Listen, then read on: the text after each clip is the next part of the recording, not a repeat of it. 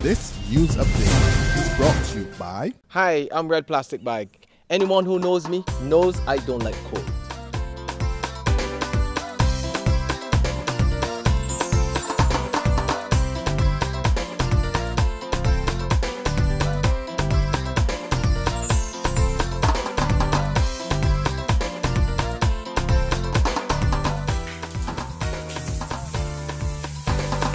Sunshine reigns in my country. I love it.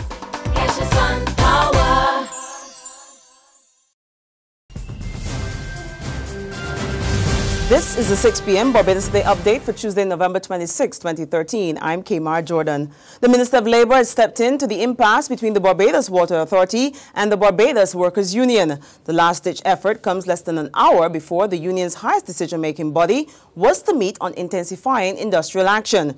Ryan Jones now reports. At 4.38 this evening, the doors to the main conference room here at the Ministry of Labour in Warrens were closed and talks headed by Minister of Labour and Social Security, Senator Dr. Esther Byer-Suckoo, the Chief Labour Officer, Vincent Burnett. There was a delegation from the Barbados Workers Union that's led by Mark Trotman, and officials from the Barbados Water Authority led by the chairman, Dr. Atlee Brathwaite, and also the acting general manager, Dr. John Mwansa, got underway. Now, these are seen as last-ditch efforts to stave off the BWU wrapping up its strike action against the BWA. I spoke to Sir Roy as he led his delegation in at around 4.32 here at the Warrens Government Office complex, and he told me that he'd come to meet with the Labour Minister who had undertaken, in accordance with her constitutional role, he said, to conciliate in the dispute. The union's executive committee, they were to meet this evening at 5 at Solidarity House, and as you could appreciate, that meeting has now been pushed back as they await the outcome of these talks which Sir Roy says will be a heavy factor in determining their next move. The offices of the Labour Department here in Warrens. For Barbados Today, I'm Ryan Jones.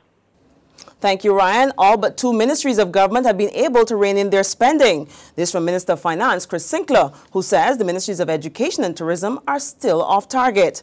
And if they continue on their current spending curve, they'll be $20 million off the mark. The other bad news for government's coffers is that revenue collection is down.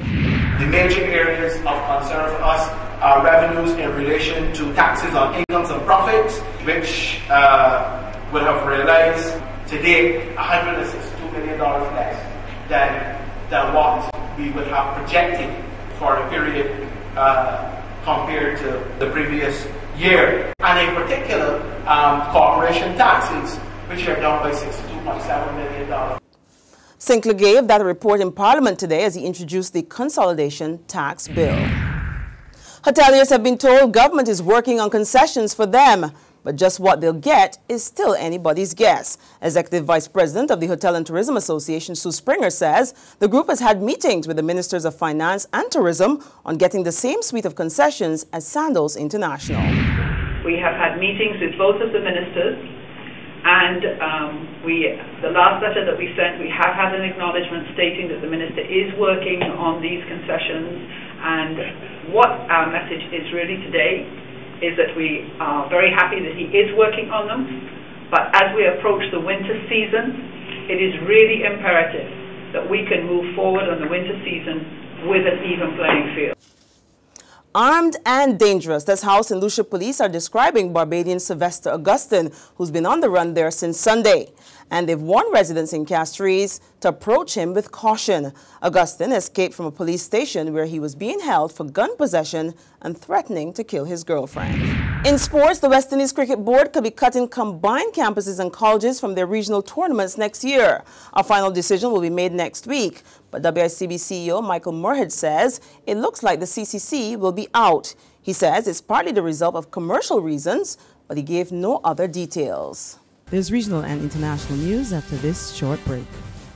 McEnearney Quality and Consolidated Finance invite you to trade in your old car for a new one. So, bring your car and come to McEnearney Quality in Wildey. That's right, all trade-ins are welcomed. Any make or model we'll trade towards your new car. Plus, you get two years free insurance when you purchase a Kia, Mazda or Ford. And with on-the-spot financing by Consolidated Finance, you can drive away with something new. So, bring your car and come to McEnearney Quality in Wildey. All trade-ins are welcome.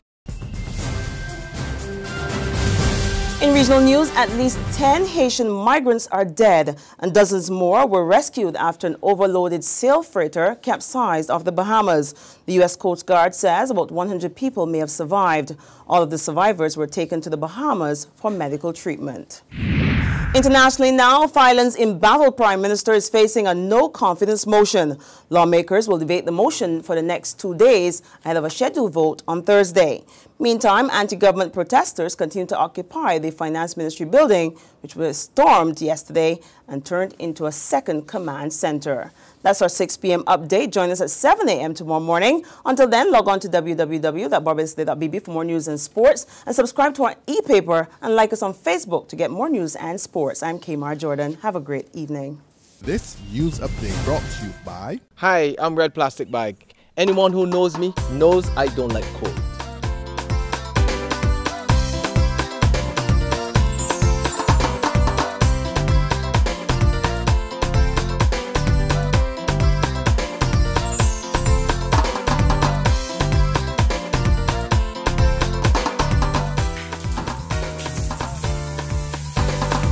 Sunshine reigns in my country. I love it.